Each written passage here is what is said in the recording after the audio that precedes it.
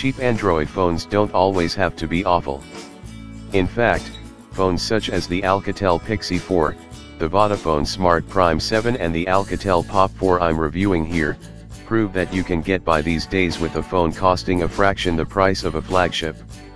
Where once upon a time sub-pound 100 smartphones were the watchword for small handsets with poor displays and terrible performance, those days seem consigned to the past.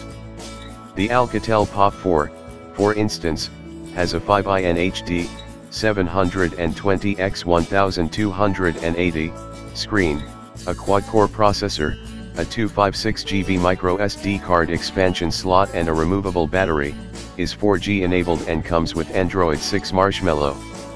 And yet it costs a mere 70 pounds. There's plenty of competition in this price bracket, though, such as the Pop 4 looks amazingly good value at 70 pounds, but it's up against the similarly priced Vodafone Smart Prime 7 and even Alcatel's very own Pixi 4, 5, which is cheaper at 60 pounds. The phone can also be found on contract at Carphone Warehouse from £8 and 99 pence a month. Alcatel Pop 4 Review, Build Quality No matter the improvement in quality of budget phones in recent times, there's usually something that gives, and with the Pop 4 its build quality, which is a mixed bag. In the hand, I felt the phone wasn't particularly comfortable to grip due to the slightly raised plastic lip that borders the front of the phone. The phone is light, though, at a mere 134G, it's pretty slim, measuring a mere 8mm from the glass at the front to the rear panel, and overall it's a sleeker handset than the Alcatel Pixi 4. Beneath the phone's screen are three illuminated capacitive buttons, with the home button always remaining visible.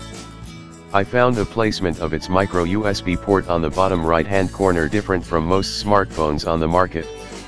You'll find a volume rocker and power button on the right edge with a 3.5mm headphone jack at the top of the phone.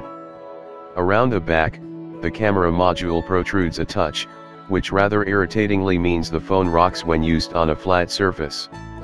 On the positive side, you can remove the plastic rear cover, granting access to a removable 2,500 mAh lithium-ion battery, micro SD and micro SIM slots. Read next, Alcatel Pixi 4, 5, Review. Alcatel Pop 4 Review, Display. Unlike the non-HD display of Pixi 4, 5, the Pop 4 has an HD, 720 x 1280 IPS screen.